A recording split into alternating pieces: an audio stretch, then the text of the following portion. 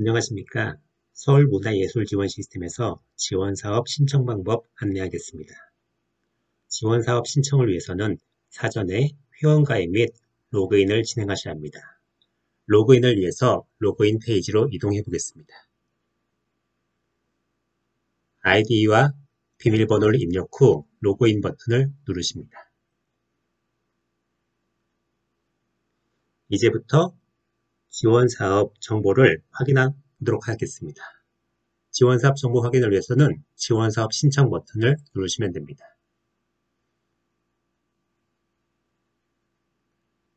시스템 상단의 지원사업 신청 메뉴를 누르면 아래와 같이 지원사업 목록을 확인하실 수 있습니다.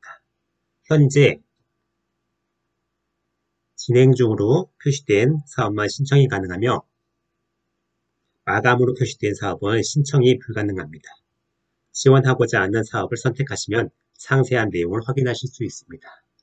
테스트 사업을 진행해 보도록 하겠습니다. 테스트 사업에 대한 상세한 정보를 이렇게 확인하실 수 있습니다. 지원을 위해서는 본인이 지원하고자 하는 신청 분야를 선택합니다. 일단 연극을 신청해 보도록, 선택해 보도록 하겠습니다.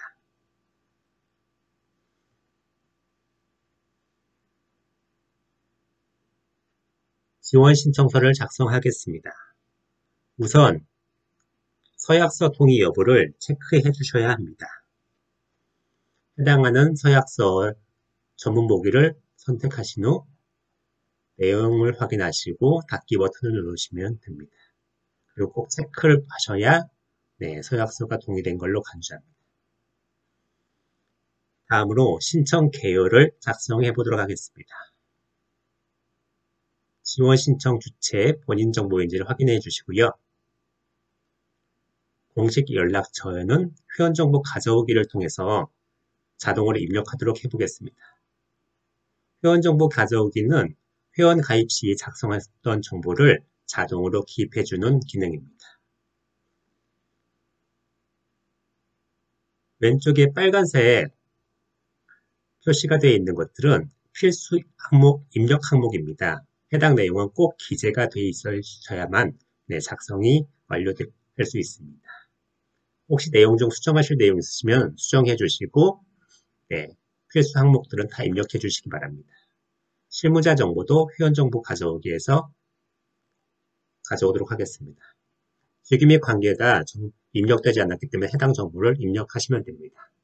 직위는 대표, 관계는 본인으로 입력해 보도록 하겠습니다.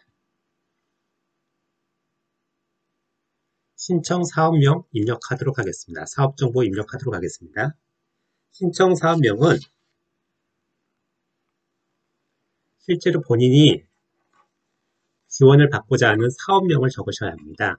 지원 사업 명칭이 아니고 실제 본인이 하실 사업 명칭, 사업이나 프로젝트 명칭을 입력하시면 됩니다. 일단 샘플로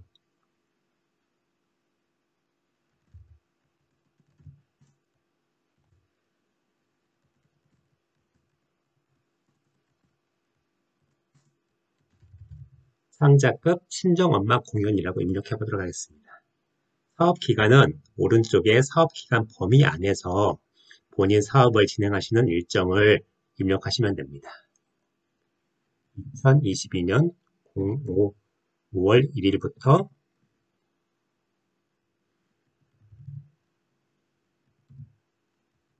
7월 31일까지 3개월을 입력하도록 해보겠습니다.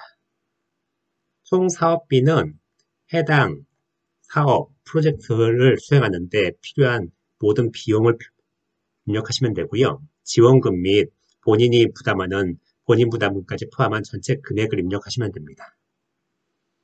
일단 2천만 원으로 입력해 보도록 하겠습니다. 그리고 지원 신청액은 본 지원을 통해 지원받고자 하는 금액을 입력하시면 되고요. 지원 신청액, 가능액 범위 안에서 신청하시면 됩니다.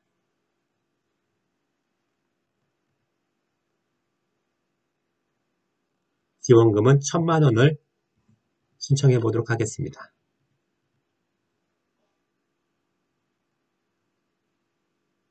그리고 사업 장소입니다. 사업 장소가 확정, 이미 확정되어 있는 경우에 해당 주소를 입력해 주시고 아직 정해지지 않은 경우에는 미정을 하고 입력하시면 됩니다.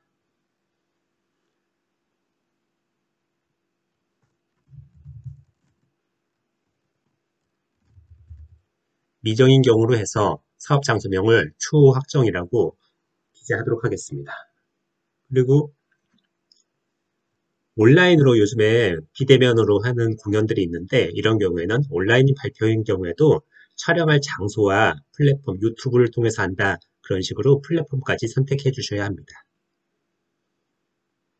그리고 신청 사업 분야를 선택해 보도록 하겠습니다.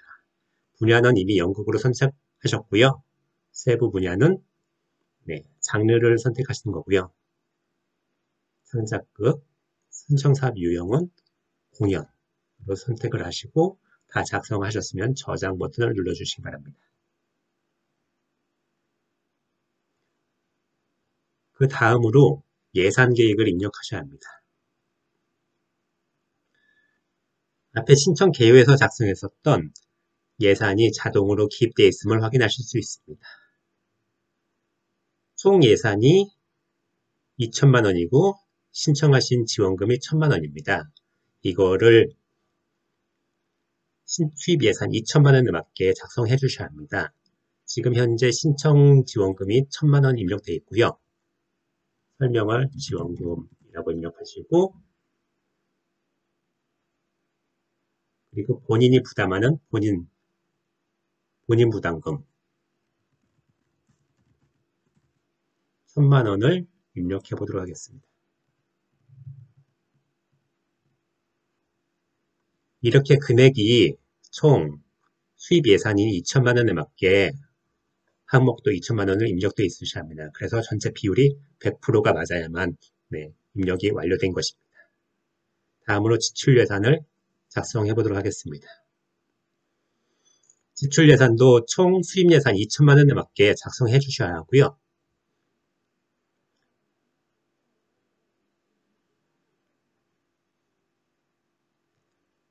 지출 예산 항목은 작성하실 때 꼭 공모에서 공모 세부 공모 사항을 확인해 보시고 가능한 지출 항목들이 어떤 것인지 확인하신 후 작성하시기 바랍니다. 일단 간단하게 작성을 해보도록 하겠습니다. 항목이 추가로 기입하시기 위해서는 행 추가 버튼을 누르셔가지고 작성하시면 됩니다.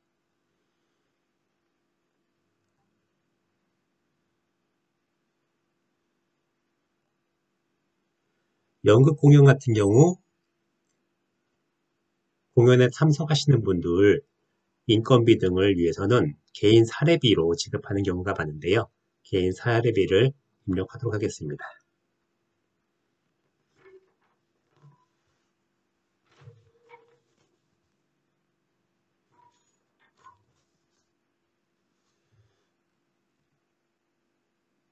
산출 근거를 20만원씩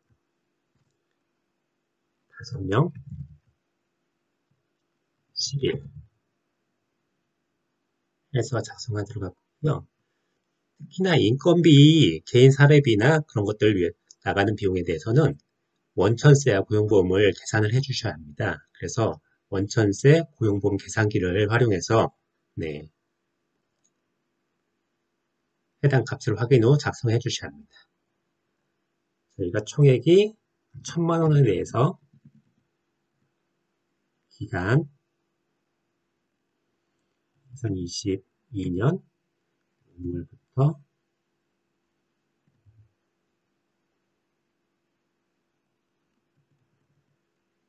7월 31일까지 고용보험은 해당 사항 없음으로 간주하고 진행해 보도록 하겠습니다. 계산하기를 누르면은 개인 사례비, 사업소득, 그리고 원천세 등이 자동으로 계산된 것을 확인하실 수 있습니다. 이 값을 지원 신청 금액으로 입력해 주시고요. 그리고 원천세도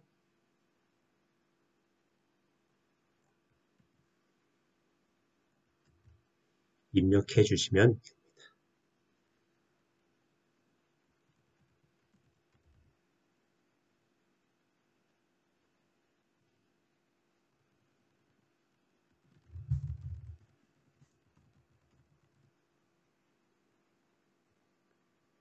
그리고 행을 더 추가해서 다음으로 극장 대여에 필요한 대관료를 계산해 보도록 하겠습니다.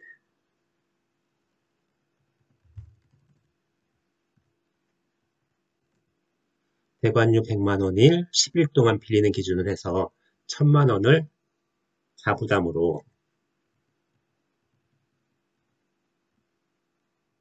하는 걸로 추가했습니다. 이렇게 지출 예산 총 2천만 원에 대해서 항목들이 다 해서 총 합계가 2천만 원이 돼야만 네, 제대로 된 것입니다. 숫자가 어긋나면 안 되기 때문에 항목이 빠짐없이 입력하셔가지고 총 금액 2천만 원이 될 수 있도록 작성해 주셔야 합니다. 그리고 다 작성하셨으면 저장을 하겠습니다. 그리고 마지막으로 첨부 파일입니다. 첨부 파일 같은 경우는 공고문에서 해당 첨부 파일, 필수적인 첨부 파일 문을 명시하고 있는 경우 해당 첨부 파일을 꼭 반드시 네, 파일 첨부해 주셔야 합니다. 여기서는 지금 지원 신청서가 필수로 되어 있습니다. 그리고 파일 개수는 한 개로 되어 있고요. 이 항목은 꼭 파일을 첨부해 주셔야 합니다. 첨부 파일 첨부를 하기 위해서는 파일 첨부 버튼을 누르시면 됩니다. 그리고 추가하시고자 하는 파일에 파일 추가를 이용해서 해당 디렉토리 이동해서 하셔도 되고요. 이와 같이 drag and drop 버튼을 이용해서 해당 파일을 끌어다가 놓으셔도 됩니다. 그리고 업로드 버튼을 누르시면 파일이 업로드가 됐습니다. 보시는 바와 같이 이렇게 파일 이름, 크기, 다운로드까지 이렇게 표시가 된걸 확인하실 수 있고요. 혹시나 해당 파일을 교체하시기를 원하시면 삭제를 누르시고 다른 파일로 바꾸셔도 됩니다. 이렇게 모든 내용이 다 확정이 되셨으면 일단 저장을 누르시고요. 여기까지 다 하셨으면 이제 최종 제출을 눌러주셔야 합니다. 최종 제출을 버튼을 누르지 않는 경우 지원 신청이 완료되지 않았습니다. 그래서 최종 제출까지 꼭 맞춰주셔야 제대로 지원 신청이 완료된 것입니다.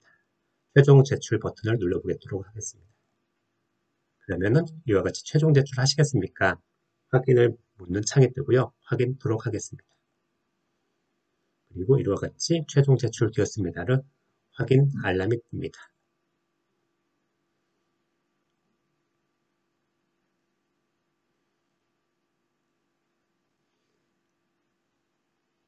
이렇게 지원 신청이 완료되었음이라는 팝업이 뜨고요.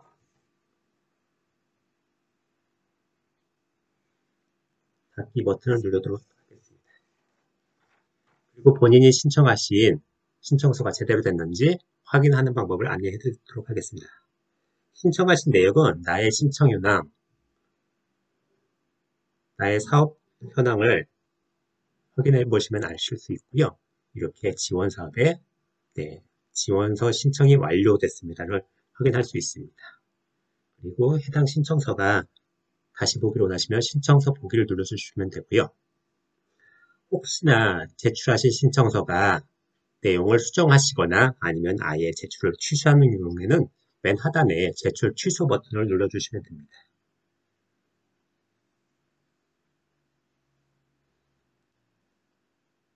제출 취소를 누르시면 제출 취소하시겠습니까? 확인을 묻는 팝업이 뜨고요. 여기서 확인을 눌러주시면 내용을 수정하실 수 있습니다. 내용 수정은 공모 기간 안에서만 수정해 주시고 최종 제출까지 완료해 주셔야만 하고요.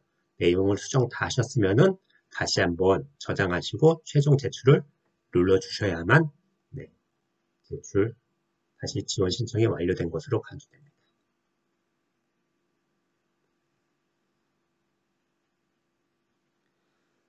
이상으로 지원사업 신청 방법을 안내해 드렸습니다. 감사합니다.